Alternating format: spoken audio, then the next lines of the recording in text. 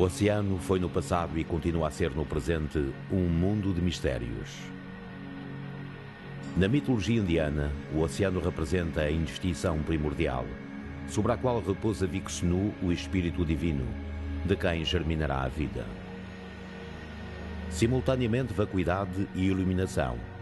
A calma da superfície esconde a pérola do conhecimento, mas a sua agitação torna perigosa a travessia. Para os egípcios, a vida resultou de uma emergência do oceano, um montículo de lodo que surge das águas primordiais e se transforma em ilha. Entre os celtas, o oceano simbolizava o berço e a origem dos deuses. Mananã, irmão de Dagda e chefe do outro mundo, é filho de Ler, o oceano. Leite de Vasconcelos refere que para os povos da costa atlântica, o oceano era entendido como aquele que tinha o poder de apagar o sol. Era interdito até mesmo olhá-lo. Após a conquista da Galécia pelos romanos, foi com terror e receio de sacrilégio que o general Décimo Júnior Bruto assistiu a um pôr do sol no Oceano Atlântico. Tal era a sacralidade a ele atribuída na cultura grega e a importância da sua influência no mundo conhecido que retirava coragem aos que desejavam a sua revelação. Vaticínios sobre o que estaria para lá do visível a partir das colunas de Hércules ou Estreito de Gibraltar são expressos em escritos de várias épocas. Homero menciona na Ilíada a enorme força de oceanos, com as suas profundas águas correntes, oceanos de quem provêm todos os rios e mares e todas as nascentes e poços profundos. Exíode, na Teogonia, fala da fronteira entre a Terra e o Atlântico, onde o Senhor dos Oceanos nega ao viajante mais navegar e fixa solene limite a Uranus. Também Estrabo, na sua obra Geografia, comenta: Os poetas que vieram depois de Homero enchem-nos os ouvidos com histórias semelhantes mitos estabelecidos na Ibéria, a expedição de Hércules, na busca do gado de Garion e também a sua outra expedição para obter as maçãs de Hespérides. A lenda dizia que o Protogenos, o deus primordial Oceanos, se fazia representar nessas águas que se pensava serem de um grande rio, também de nome Oceanos, o qual cercava e rodeava a terra representado por uma figura de homem com forma de serpente da cintura para baixo, por vezes com cornos de boi, Oceanos era filho de Uranus, o céu, e Gaia, a terra.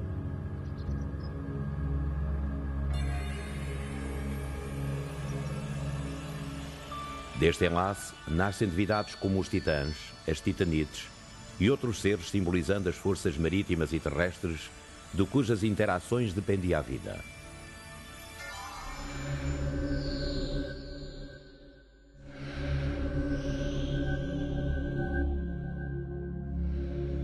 Oceanos e Tétis, sua consorte e irmã, deusa terrestre que distribuía o seu fluido pela terra, fazem a conjunto nascer através de grutas subterrâneas os potamos, rios. As Oceanides, deusas ninfas dos mares, as Neiades das fontes e nascentes de água doce, e outros seres ligados às nuvens, brisas, pastagens e flores.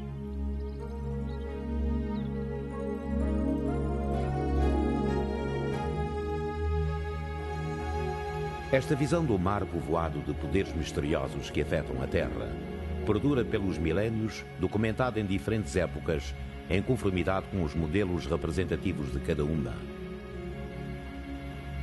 À concepção de base que o caracterizava como Deus primordial, juntam-se outras posteriores, nas quais o medo físico de enfrentar o mar-oceano se identificava com o terror herdado das lendas que o uniam à morte. O facto de ser entendido como última instância dos mortos, cujas almas, seguindo no rastro do sol, abandonavam a terra, contribuía para potenciar e eternizar esse sobressalto. A braveza de um Atlântico desconhecido, povoado de seres míticos e monstros ferozes, tinha contido os povos que vagas sucessivas traziam do norte e leste da Península Ibérica até ao estuário do Tejo.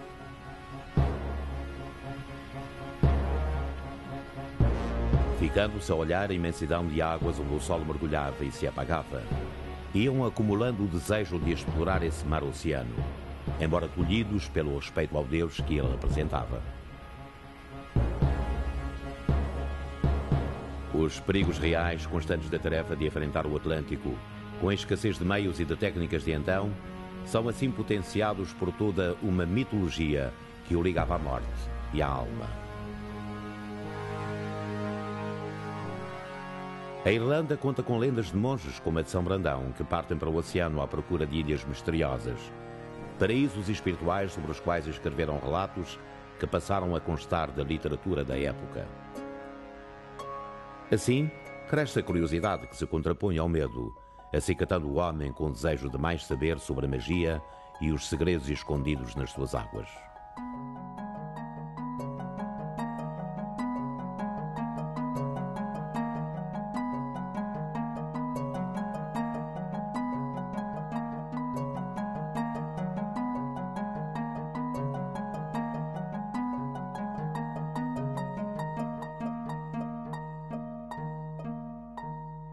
Portugal representava a linha de interface onde se cruzavam estas pulsões antagónicas.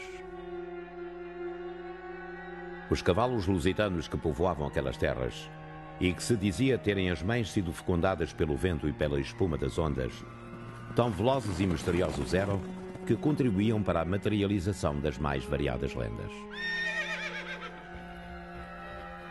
Lendas que partiam da própria mitologia, na qual o cavalo assumia uma posição ambígua, semi-endeusada.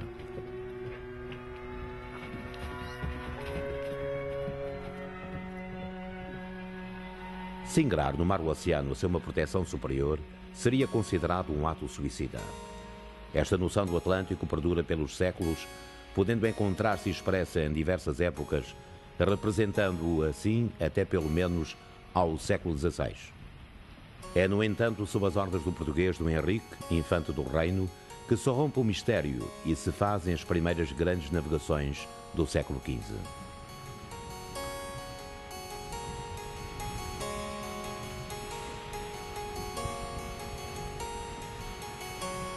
Pressões económicas empurraram os homens para o mar e os Açores são oficialmente descobertos e povoados entre 1427 e 1440.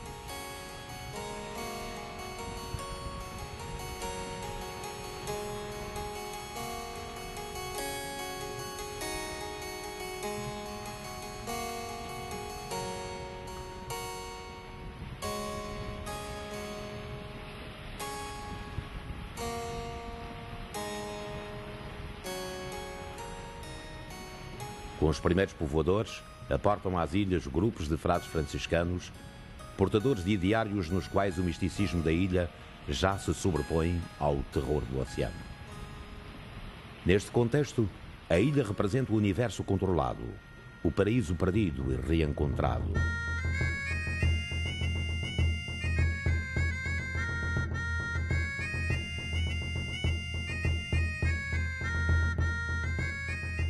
Assim se pode compreender a pintura do teto à entrada do convento de São Francisco na Terceira.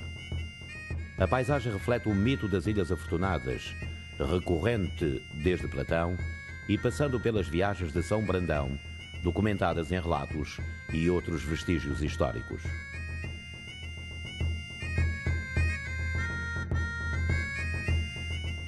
Até que ponto terá a ilha mítica bases concretas que alimentem esse sonho?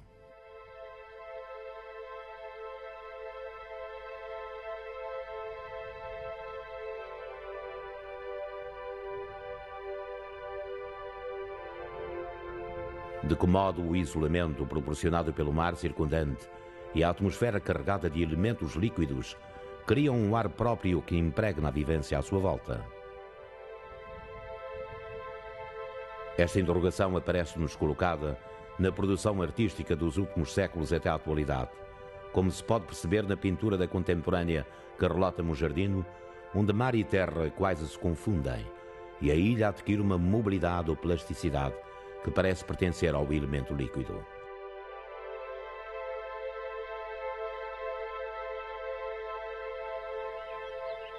A mesma interrogação pode ser colocada perante os endemismos da Mata Atlântica da Macaronésia.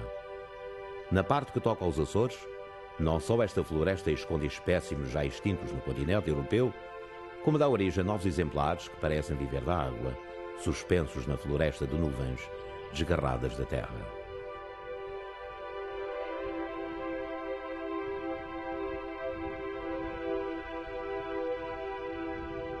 Por outro lado, uma formação geológica que impermeabilizou toda a bacia central da Ilha Terceira criou uma vasta zona de vegetação de alagados, arborizada, rara e específica.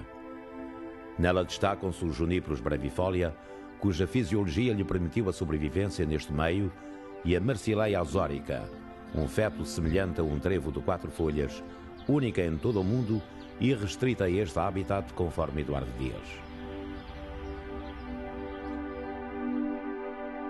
As ilhas prosseguem assim o seu papel de novos centros do universo. Quando a América ainda era desconhecida, e Martim da Boêmia desenhou na Ilha do Faial este mapa do mundo sem a América. A localização geográfica dos Açores situa-se no centro-norte do Oceano Atlântico, alinhada na direção noroeste-sudeste e cobrindo 620 km desde o extremo noroeste com a Ilha do Corvo ao extremo sudeste com a Ilha de Santa Maria a cerca da mesma latitude de Lisboa e Nova Iorque. Os Açores são um grupo de nove ilhas habitadas e uma dúzia de ilhotas, ficando a sua parte central à distância de cerca de 2 mil quilómetros a oeste da Península Ibérica e a cerca de 2.500 quilómetros a sudeste de Cape Race, Newfoundland, ou cerca 4 mil quilómetros este de Nova Iorque. As ilhas formam três grupos, sendo a sua área total de apenas 2.344 km. Porém, a sua zona económica exclusiva é a maior da União Europeia.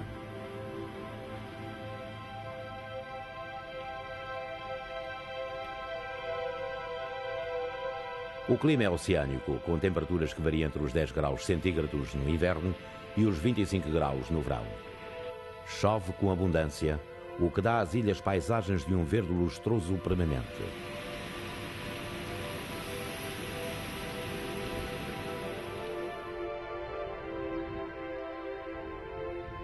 As ilhas são todas de natureza vulcânica recente, contando-se as primeiras erupções que lhes dão origem há cerca de 8 milhões de anos e as últimas com vários eventos históricos, sendo a mais nova em terra em 1958 e no mar em 1999.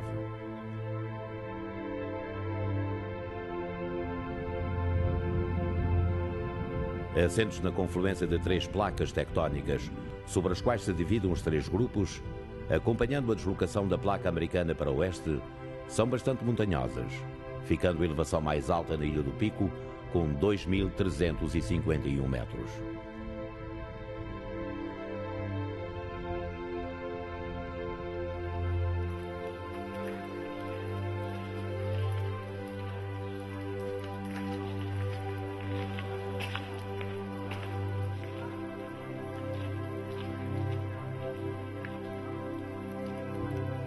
Grutas e canais subterrâneos naturais, assim como nascentes de água quente, fontes termais e fumarolas, documentam fenómenos vulcânicos próprios da constituição do seu magma proveniente da linha dorsal atlântica.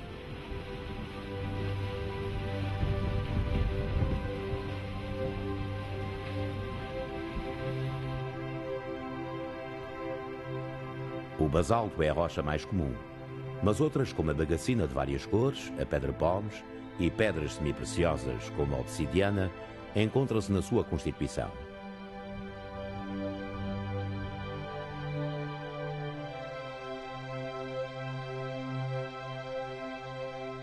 Cada ilha tem uma configuração diferente, cuja causa depende principalmente de cinco fatores.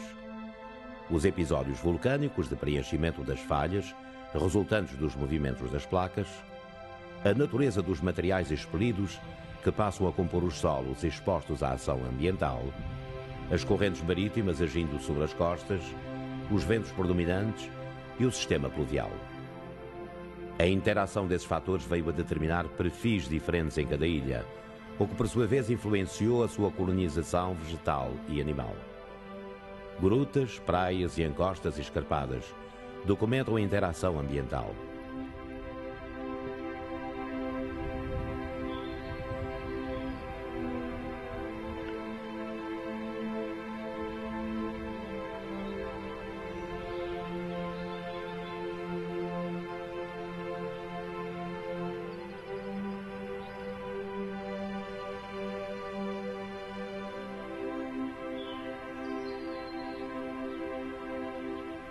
Isolamento em que se encontram, os Açores possuem grande variedade de flora e fauna endémica, resultante de adaptações e mutações que originaram subespécies e mesmo novas espécies.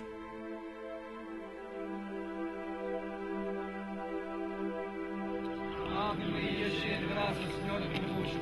Bendita sois vós entre as mulheres. Bendito o fruto do vosso ventre, Jesus. Os romeiros de São Miguel dão a volta à ilha durante o período quaresmal. O contato humano com este mundo preponderantemente natural, isento ainda de interpretações influenciadas por concepções míticas, originou reações que variaram entre, por um lado, novas interpretações do mundo e da natureza, e, por outro, um apego exagerado às visões mitológicas do passado.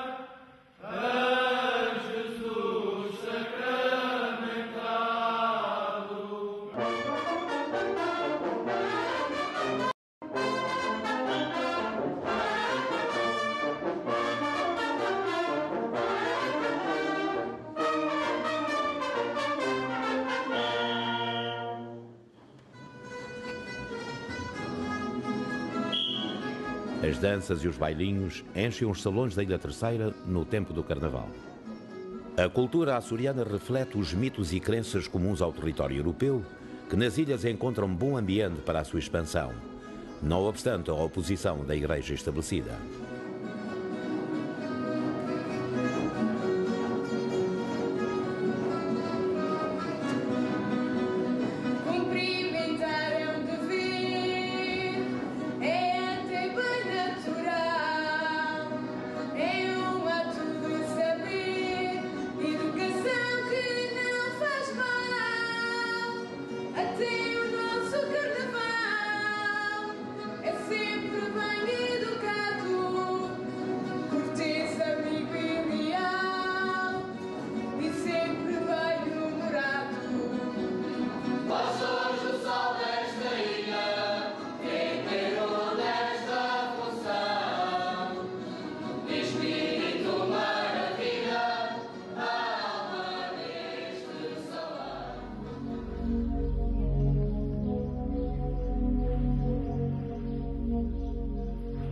Maios protegem os homens, os lugares e as habitações das incursões e arranques da morte.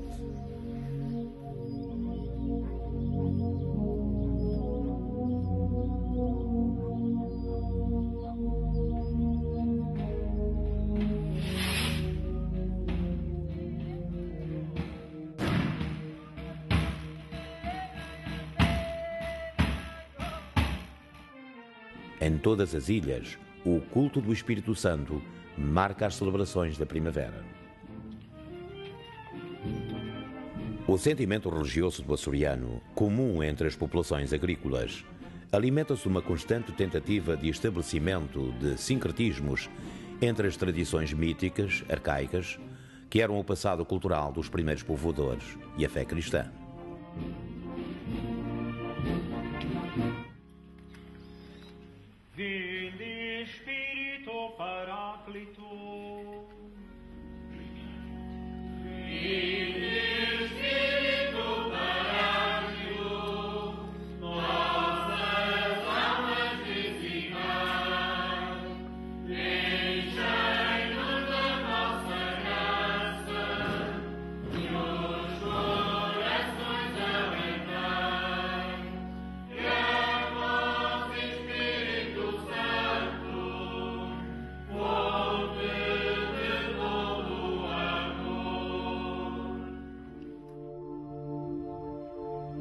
Este processo encontra-se documentado de diferentes maneiras, não só nas festividades populares, mas também nas manifestações artísticas.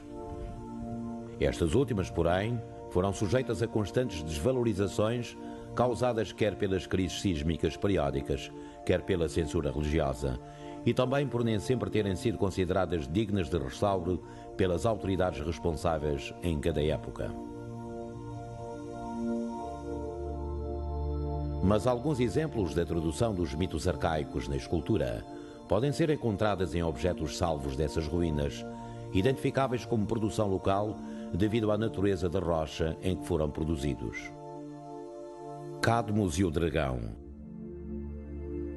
a águia e a fonte, símbolos astrais em sepulturas, a espiral simples, a espiral dupla, também ligada à serpente e ao dragão. Janus, um deus romano.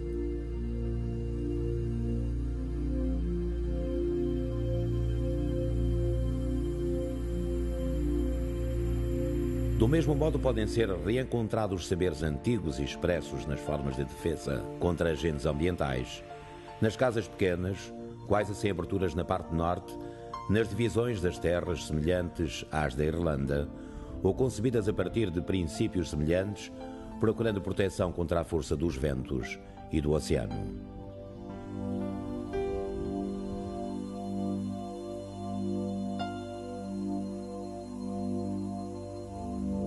Mescladas por mitologias arcaicas, encontram-se ainda muitas formas de expressão presentes nas ocupações diárias. Práticas como a caça à baleia, ativa até ao século XX, refazem relações míticas entre o homem e o monstro.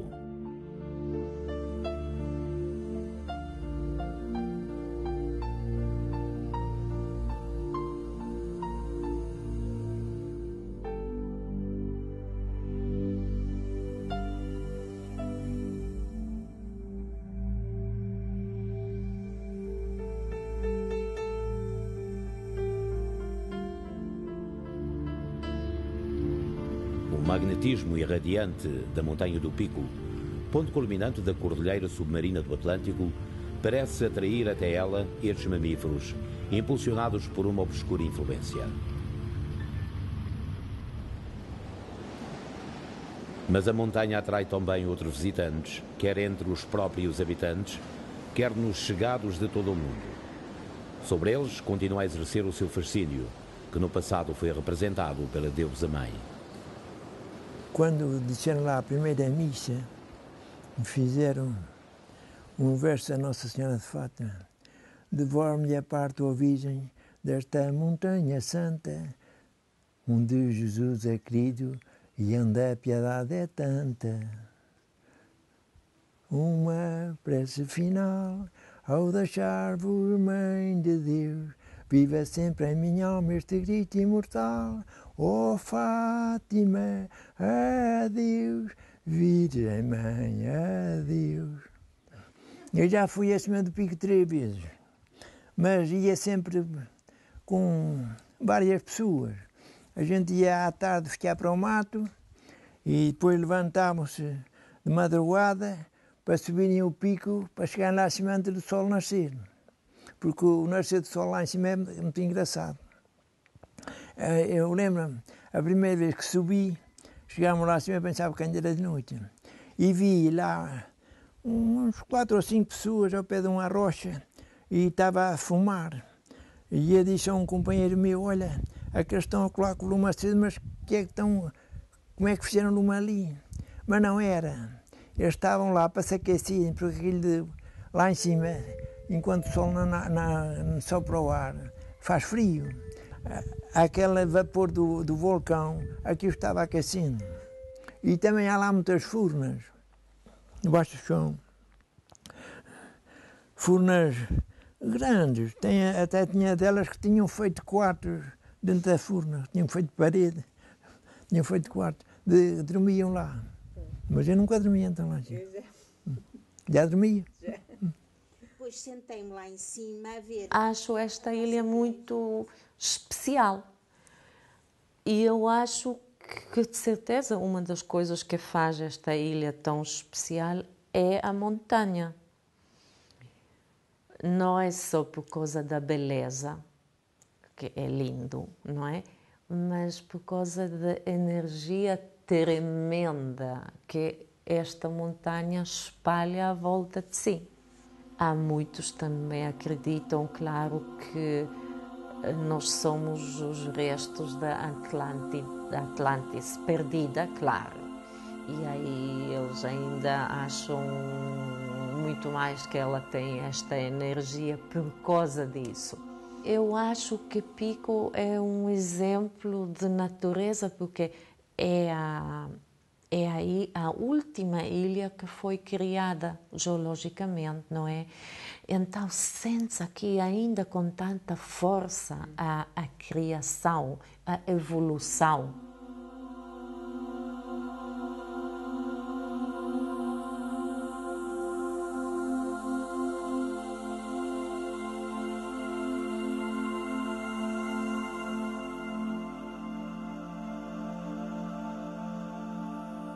Os moroiços, pequenas réplicas da montanha, foram aparentemente modos de armazenar o excesso de pedras existente sobre o terreno arável. No entanto, só são conhecidos na Ilha do Pico, onde se assemelham a mimetismos da Grande Senhora. O meu avô dizia-me que isto era pedra, faias e, e silvado, e depois que iam cavando e que, que as crianças iam acartando mais as mulheres, os homens era para cavar. À medida que iam acartando, iam sempre portando para cima para, para não ocupar muito lugar.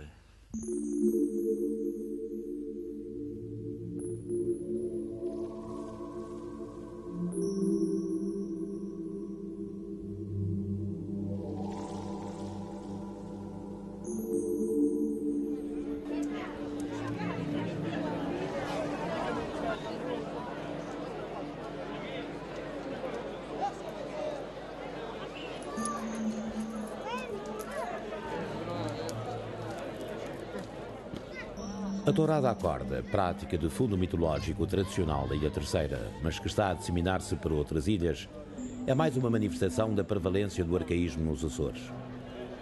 Na relação aí estabelecida com o touro, constante de uma brincadeira onde cada qual procura acercar-se sem ser magoado, sobressai a antiga visão deste animal como sagrado, pois as multidões exigem um tratamento no qual o touro não seja vencido pelo homem, ao contrário do que acontece com a luta na arena.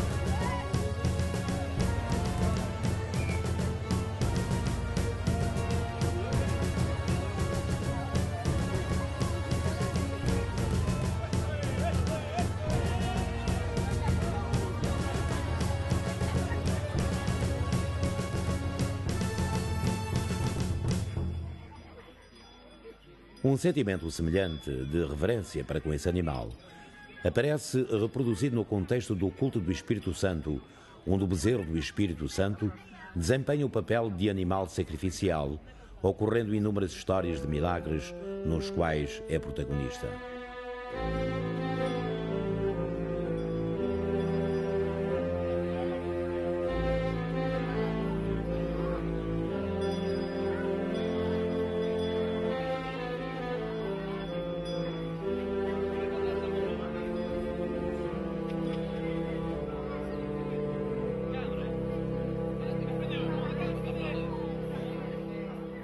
Pai contava que um ano estava ali a matar um bezerro aqui, até aqui mais acima, eu já tinha, e que esse bezerro tinha desaparecido.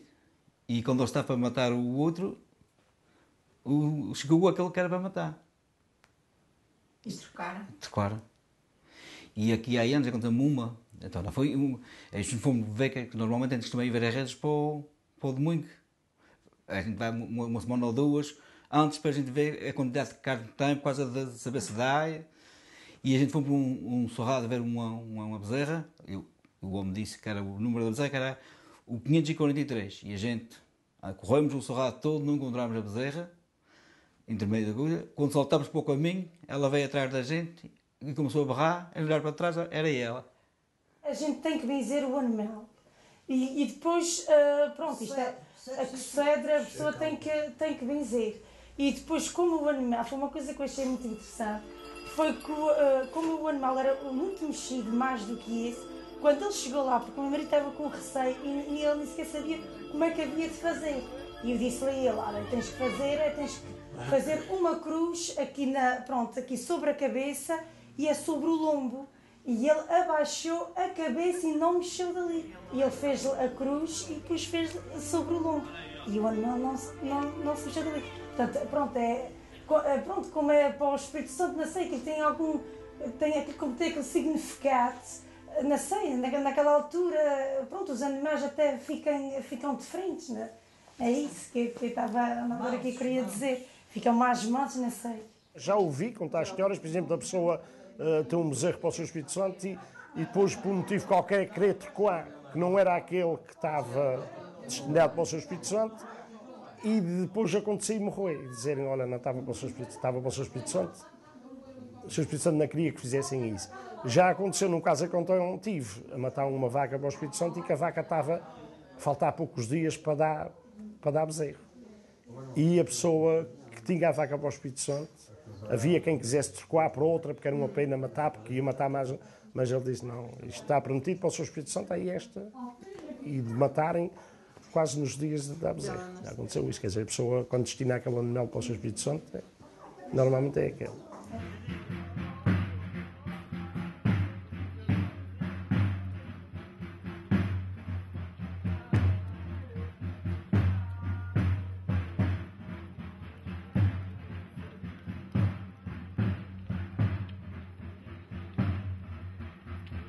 Neste culto, várias outras situações documentam igualmente o arcaísmo dos seus princípios.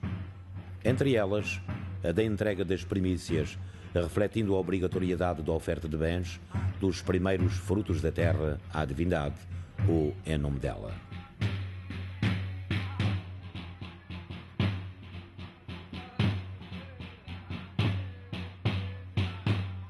No modo como o açoriano se ocupa com a prática de todas estas celebrações, num ciclo constante e interminável, percebe-se que deverá encontrar nelas uma identificação com memórias relevantes.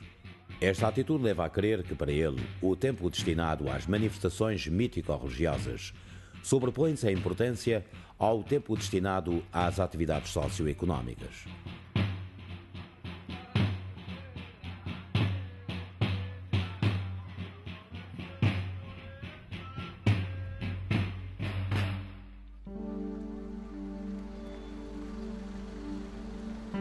Tal constatação auxilia a compreensão das dinâmicas que regem a vida nos Açores e que colocam o açoriano numa categoria à parte, fora do paradigma de dominância do temporal sobre o espiritual, que na atualidade caracteriza o pensamento ocidental.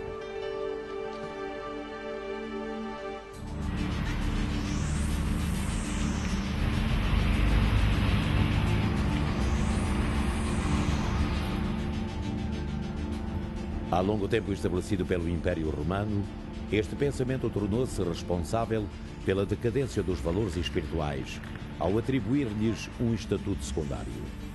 Em consequência, verifica-se que sociedades religiosas, fundamentadas num princípio oposto, como foi a dos druidas, por exemplo, sucumbiram ao impacto da nova mentalidade ocidental.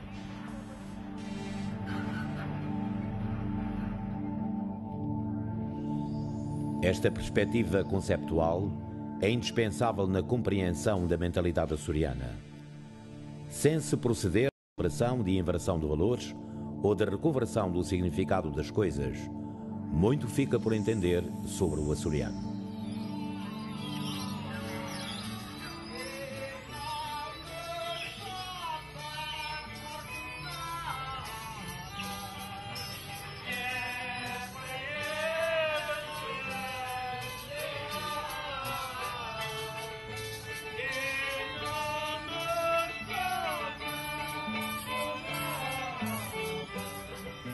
Como testemunho de tal mentalidade está o tipo de religiosidade que foi exemplificado noutros episódios desta série, versando as celebrações dos equinócios e solstícios. Ilustraram vestígios de cultos do passado que foram preservados, não obstante a fé cristã. Sincretismos que evidenciam o açoriano típico, preso à tradição e pouco deslumbrado pelo progresso económico. A posição que adoptou e o seu entendimento da Terra permita-nos agora retomar contato com alguns dos sentimentos dominantes nas mitologias do passado, desbloqueando a expressão de arquétipos fundamentais da humanidade. No reencontro com esses mitos que lhe davam voz no passado e que são atuais no cotidiano dos Açores, convoca-se um reequilíbrio emocional para a relação do homem com o cosmos. O arcaísmo que lhes era atribuído recebe uma lufada de modernidade, revelando a perenidade da sua natureza.